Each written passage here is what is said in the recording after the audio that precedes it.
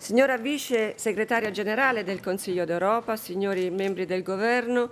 e dei Parlamenti dei Paesi membri del Consiglio d'Europa e degli Stati del Mediterraneo, autorità, signore e signori, è un onore, è un onore ospitarvi qui alla Camera dei Deputati e poter inaugurare questa conferenza. L'Italia è stata il primo Paese fondatore del Consiglio d'Europa e dell'Unione Europea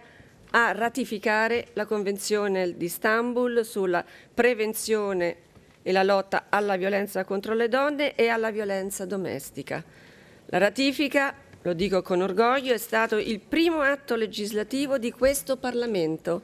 nell'estate dell'anno scorso, come ricorderete. È dunque per questi motivi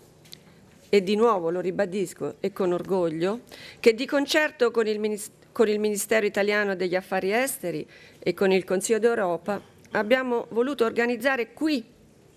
alla Camera dei Deputati questa iniziativa che va sotto il titolo di Al sicuro dalla paura, al sicuro dalla violenza, l'entrata in vigore della Convenzione di Istanbul.